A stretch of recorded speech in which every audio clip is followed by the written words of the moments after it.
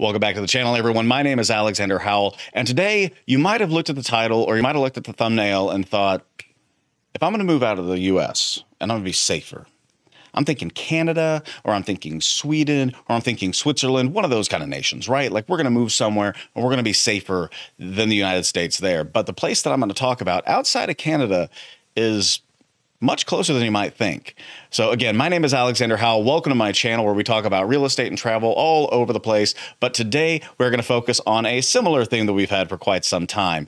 And if you'd like to, please feel free to like and subscribe to the channel. If you enjoy the video, please feel free to hit the little notification bell. That's going to let you know anytime I go live, whether it's streaming or one of these videos pops up on YouTube. You can also feel free to visit me on any of these social networking sites and text me at 816 727 7740. That sends it directly to me, so I will get it immediately. Sometimes it gets me uh, a little bit, uh, I get a little bit behind and I need to uh, get better about that. But also at Alexander from KC is how you can normally follow me on social media.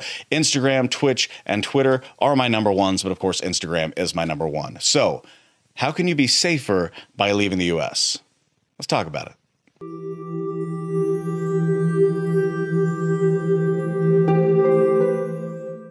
Now, the first thing that I want to say is don't be mad I love being from the United States of America. I am a flag waving, red blooded person from the center of America. You could not make me more proud to be where I am from ever. But there are some things we need to talk about, and that is that you can be safer if you go somewhere else, according to CEO World Magazine, which is where I got all of this information from, along with other sources along the way, like CNBC, The Times, and that kind of thing. And we're going to go over that too. But if you look at the safest cities, we're going to talk about the second safest city in North America. And by the way, Quebec City, you're number one. So if anybody's from Quebec City and they're worried about being safer, don't worry about it. Find the next video. I appreciate you. I love you. Thank you for subscribing, but no need. but the second safest city, the safest city in Latin America, and the safest city in Mexico is called Merida. And for those of you who are subscribers to this channel, which is about 25% of my viewers, you guys have already heard back and forth about Merida. But for those of you who are new to this channel, 75% of my viewers, let's talk about Merida and why it is not only the safest city in Mexico, the safest city in Latin America, the, the safest, the, the, sec, the, ah, the safest city in Latin America, but it is also the second safest city in North America. Take a drink every time I say safest city. On that one too.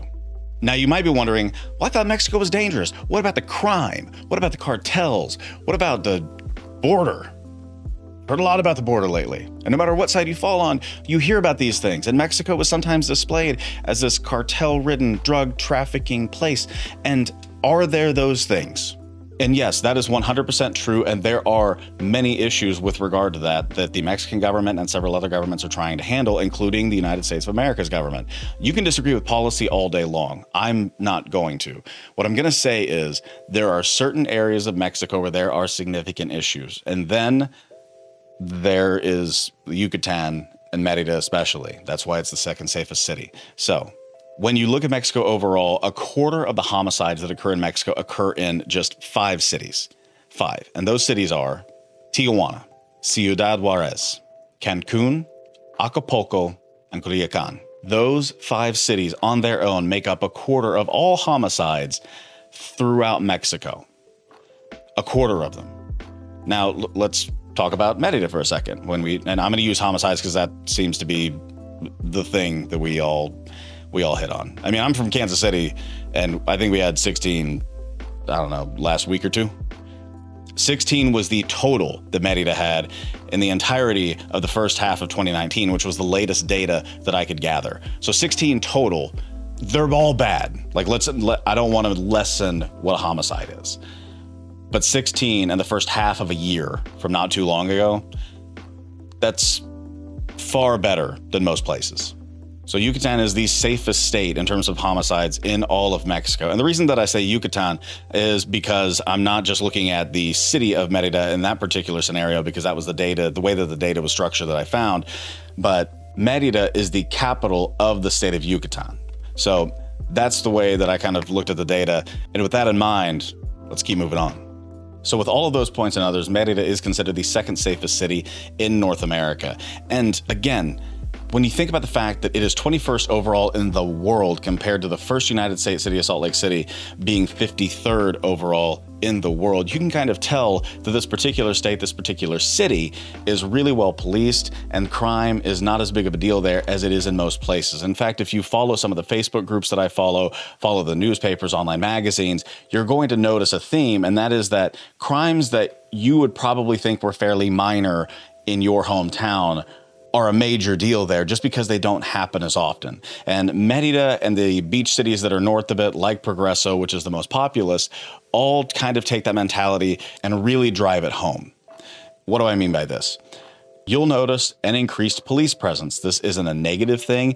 This is you have the state police, the federal police, the municipalities police, wherever that might be. You're going to see a lot of police everywhere, and there will be times where there are going to be checkpoints. I'm just going to be honest with you don't drink and drive ever, but especially in the state of Yucatan. They take it very seriously. You're going to immediately go into jail and you're going to get out, but it's going to be a terrifying experience as it would be here. But in the month that we stayed there from late February of 2020 until late March of 2020, there were more checkpoints in Merida and Progreso that I noticed than I have in the entirety of the year of 2020 and 2021, even to this point, in Kansas City, Missouri. Bigger city. We have all of the don't drink, don't drive stuff. There were more there in a month and by a significant margin. So just letting you know, crime is punished there, uh, but it's also policed well. Like I went up to several cops, asked a question, they gave me the answer. There was no negative interaction whatsoever. Very positive tourism spot, but it is it is policed very well. You're going to notice it. Don't be scared. Don't be freaked out. That is part of the reason that crime is so much so much less of an issue there is because they have a good police presence and it's positive for all sides. At least from what I saw. They they all seem very nice. Some people might have negative experiences. That's something. Okay, so Merida is without question the safest city in Mexico. It's a wonderful destination. Look it up. Try to prove me wrong in the comments. Tell me all the negative stuff that you possibly can. Comment down below and say Merida isn't safe. And then if somebody sees that comment, you reply to them and tell them how safe it is. Just saying, probably a good idea. But comment down below if you don't think I'm right. I'm open to it. So I've talked about how Merida is safe this entire time. And again, if you're playing that drinking game that I told you to a while ago, you're going to be wasted. So you won't be paying attention to this. But when you watch this the next day and decide not to, let's talk about something else. Because all of this being said, I want to make sure that these things are handled as well. Because no matter where you travel, even in your hometown, you should do a, several things to make sure that you always stay safe. And the first one of those, number one, is have people with you. If you're going to a new destination, if you're going to a new place, I am always going to recommend that you don't just go by yourself. Some people are brave, and some people are far braver than I am. If they go to a destination the first time, they're going to go by themselves, they're going to go walk around. That's fine, and some people are good with that. I personally would recommend if you're going to a place the first time, make sure that you have people with you. That way, if somebody approaches you, if a group approaches you, you have more people around you watching your back, and they, and you are watching their back. It's just it seems to be safe. Safer. Safest. The other thing that I try to tell people, and I have had this rule since college, and the reason that I say college, not high school, is because I was a nerd in high school and I didn't go out. And when I did, it was like to somebody's house to drink Kool Aid and watch musicals and stuff. I was a theater nerd. Deal with it. but nothing positive happens after midnight anywhere. Just ask the people who wrote the movie Gremlins. That didn't work. They all turned bad except the one. He was good. But nothing positive happens after midnight, whether it's the streets are dark, you can't see everything, you're by yourself, whatever it might be, or especially when you involve alcohol or substances that are going to change your mind a little bit. That most of the time is going to occur after midnight, people walking home. You're going to be in a mood where maybe you don't want to be messed with. They don't want to be messed with, but you both think that you're messing with each other. Just avoid after midnight if you can. Have a fun time, but avoid going too crazy. So number three, the rumors are true. Don't drink the tap water. I've been to some very nice hotels down there, stayed in a very nice Airbnb. It's an amazing place. But even the people that I speak to within the hotel, within the Airbnb, every single one of them says, don't drink the tap water. Now, there are some places, because I'm answering this for the haters, that are going to say, it's fine. Hold on. There are some places that bring drinkable water in, they put it in their cistern, and then they drink it from a, they drink it from their own system. And that's completely fine. But unless they tell you that, I'm just going to fully recommend grab a bunch of gallons of water from the store, bring them home, use that for everything except showering and stuff like that. Now, this is a rule, again, just like all of these, or most of these, no matter where you go, don't flash how much money you have. I have several friends that will go down and, you know, to, you know, it doesn't even matter if it's Mexico, it's pretty much anywhere. It could be down the street to a bar here. They'll whip out their wallet and they've got a bunch of cash and they like showing it off. Don't, don't do that all you're doing is inviting trouble. That's just a rule for anywhere you go. Safe city, not safe city, whatever it might be.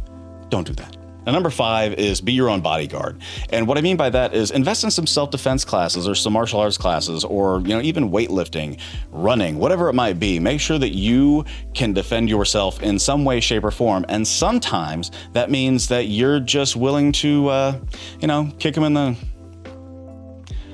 cookies. Run that's self defense. Get out of there. But just know that no matter where you go in the world, be safe doesn't just mean that the city is safe. It means you know how to defend yourself or stay out of situations where you shouldn't be. Keep passports, electronics, and other personal items like that in lockboxes, or make sure that you keep them in your vision, in your sight, or in your hand if you go out anywhere. There are tons of stories of people just leaving computers in hotel rooms and they're gone when they get back, or taking their passport out and putting it on a table and it's gone. Keep your stuff with you. That is the most important to you, especially. And number seven, and this is something that uh, I hate even having to say, but no matter where you go, including Merida, including Kansas City, wherever it might be, watch your drinks. Whenever you go out to a bar, a restaurant, whatever it may be, make sure that your drink is attended in some way. I've gone as far as going up to a bartender if I'm by myself and it's a packed restaurant and saying, Hey, I'm going to go use the restroom. Can you take my drink? And sometimes they'll look at you funny, no doubt about it. I normally I'll just say like I tip very well. Can you please just put on the back bar and I'll grab it when I come back. So they'll put a menu right there, whatever it might be, and it's fine. This unfortunately, er, I don't know what the right way to say this is. Fortunately, unfortunately, it's all bad, but this normally is going to be something that is a problem for women more than it is men. That's not me trying to be sexist in any way, but the statistics will show that out. I think Vice did a really good piece on that um, a, a couple of years ago. But ladies, gentlemen, watch your drinks when you're out. Way too many people spike them, roofie them, just drug them in general. So be safe out there. And again, these are rules not for Merida because this is an excessive problem there. I've just kind of gone on a rant of be safe, make, make good decisions.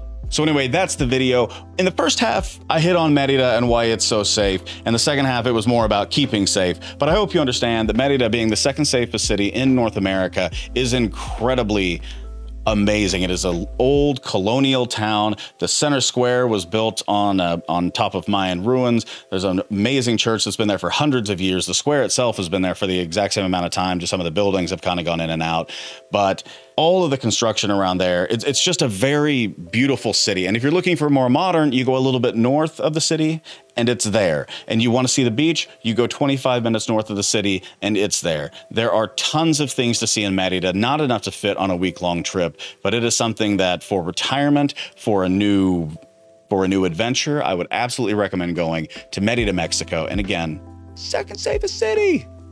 I'm holding up two. I should just hold up the two.